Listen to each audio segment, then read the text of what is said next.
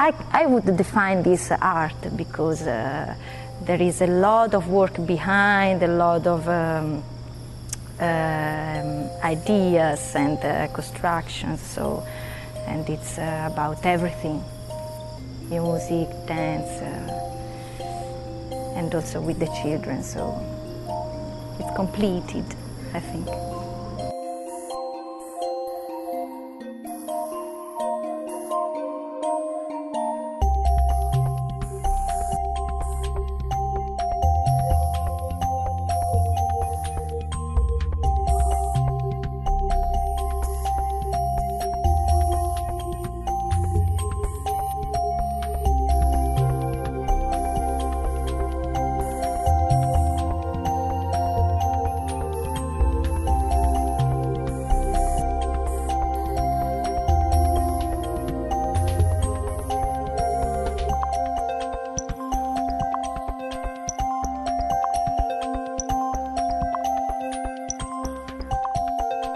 TPO is a team of Italian designers who have created a, a, virtual interactive performance space for children.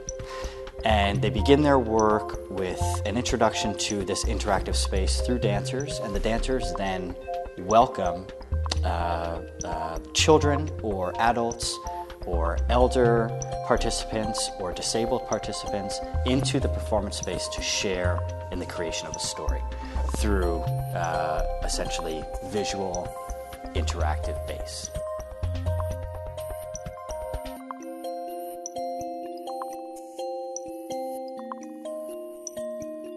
So the, the basic setup is a, a carpet with sensors underneath and a projection, a projector. And they, they send informations to one of our computers and in turn this computer creates image and moves images and send them to the projector. This is uh, feedback, continuous feedback between what happens on the actual carpet and the projector.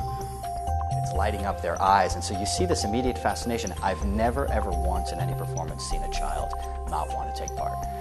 In fact, they start to eventually raise their hands because they think maybe if I raise my hand, they'll pick me. When we take them, uh, we invite them, we take their hands, they are like uh, sometimes shaking or uh, sometimes uh, wow, like astonished.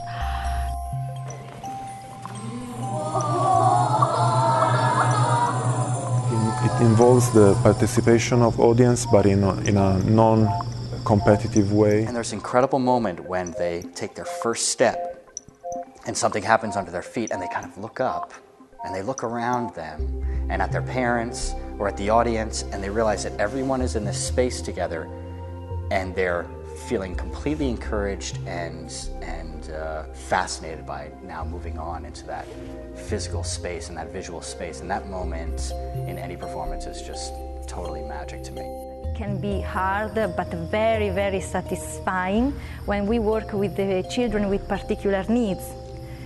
Uh, so we see how they react. Also, the teachers are um, uh, amazed, astonished about their uh, reactions sometimes. I've seen people be brought to tears at TPO performances, either because they're watching their child for the first time in as such a gorgeous, beautiful landscape, but also as participants to just be really awestruck by uh, being actually involved and inside of an environment that beautiful.